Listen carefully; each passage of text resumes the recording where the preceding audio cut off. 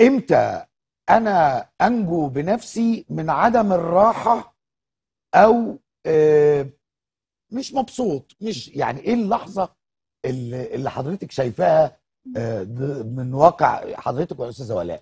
آه، أنا دايما بشوف إن أكتر مؤشر خطر إن أنا يعني أخسر نفسي. أنا لو خسرت يعني نفسي إيه أخسر نفسي؟ أنا بحب دايما يعني ما أقولش حاجة كده من غير ما. نفهمها. أخسر نفسي أخسر نفسي اللي هو بقعد بيني وبين نفسي أقول أنا شخصيتي مش كده. أنا تنازلت علشان فلان عن حاجات كتير جدا في شخصيتي. مم. فأنا خسرت نفسي. يعني أنا كانت شخصيتي شخصية ما بتتقبلش ما بتتقبلش مثلا آه، واقع ما. آه. مرحة اجتماعية شخصية آه، ليا رأي عندي آه، كينونة ما. فجأة خسرت الحاجات دي كلها. أنا آه. لو خسرت الحاجات دي أبقى خسرت نفسي. أبقى خسرت شخصيتي. أبقى عايشة في شخصية مش شخصيتي. دي قدر من المرونة من أجل إن أنا يعني آه، بتحصل أقدر وبتتعمل أسير الحياة يعني. بس لما أخسر. نفسي بشكل بشكل إن أنا بعدها خلاص اتأذيت نفسيا لازم أيوه يعني إيه بقى اتأذيت نفسيا؟ معلش. اللي هو أنا ما قدرتش أتحمل لأن كل حد بيبقى ليه طاقة. لما بتزيد الطاقة دي عن حدها بتتقلب ضدها.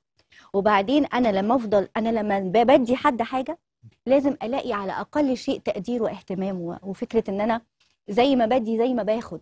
فالشخص المعطاء دايما بدون ما يشوف أي تقدير لل- للشخص اللي بيديله كل حاجة ما بيلاقيش ده فبيبتدي يفوق لنفسه. مم. أنا لو حسيت إن أنا خسرت نفسي وبدي من غير ما أكتسب أي حاجة ليها مكسب ليا مكسب نفسي حتى ومعنوي فأنا ما بقدرش أكمل.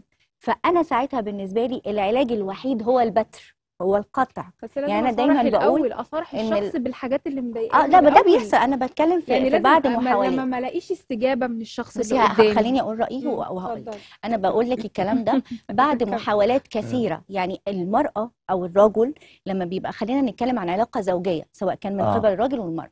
طبيعي إحنا بنستنفذ فرص كتير جدا. إحنا ما بناخدش قرارات بعد آه، فترة قصيرة. إحنا بنبقى استنفذنا طبيعي جدا وتحملنا وجينا. عشان كده بقول الحاجة اللي بتفوق الطاقة. معنى إيه بتفوق الطاقة؟ يعني أنا اوريدي خلاص عملت الطاقة دي وما قدرتش أتحملها فعشان كده خدت القرار. القرار بالنسبة لي أنا البتر. أو العلاج هو القطع لأن ما بعد ذلك هتحصل أيوه ما هو إذا كان الكوارث إذا كان. حضرتك اتفضلتي وقلتي إن كان في محاولات كثيرة طبعا للعلاج فخلاص يعني خلاص ال- اخرة ده لا يعني، إما آخرة يا إما بقى بعد. كده يا إما بعد كده الضرر اللي بيبقى بعد كده مش ضرر نتيجة القطع والبتر بيبقى الضرر بعد كده بيبقى حاجات تانية خالص بتسبب الأذى اللي فيما بعد بقى لأي حاجة ناتجة عن في دي فيش السايكل فك- ما تعرفش. تخرج منها بالظبط. الدائره. المغلقه بالظبط أنا بشوف إن أهم حاجة اولا يبقى في مشاعر ما بين الزوجين خلاص؟ أو أي علاقة. لازم يبقى في حب ومشاعر. طيب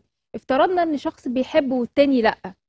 يبقى طول طول الوقت هيبقى في تنازل من الشخص اللي بيحب. لأنه بيحب. إنما ما بيلاقيش الطرف الآخر بيديله أي عطاء أو بيديله أي آه، حب أو أو مشاعر أو حتى دفعة للأمام. للاشتراك زوروا موقعنا الفا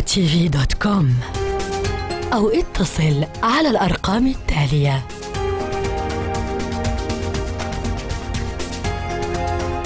ألفا قنوات الأسرة العربية.